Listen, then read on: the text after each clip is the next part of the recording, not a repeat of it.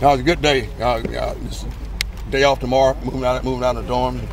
Uh, the camp part, the NFL part that we like to do is, is, is uh, winding up that part. But now we'll, they'll move to their separate apartments and dorms starting tomorrow, and then we'll resume on Wednesday. Good day today. I thought guys flew around.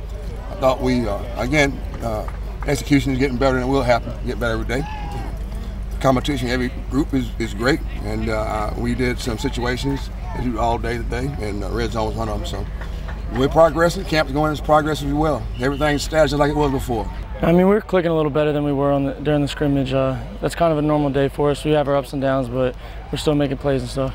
Yeah, it's exciting because we have all these playmakers out here. You just get them the ball and they can make something happen. And I mean, the line's been doing a really good job. They've come a long way since the first day, and they're they're really putting on for us. Um, definitely. I mean, today, you know, we're definitely we're grinding today. I mean, you know, competing. Everybody was competing. O line, receivers, especially going against our defense. You know, we want to beat them every, you know, every competitive situation we got. So I mean, today I feel like we worked hard, but I know we got to keep that on.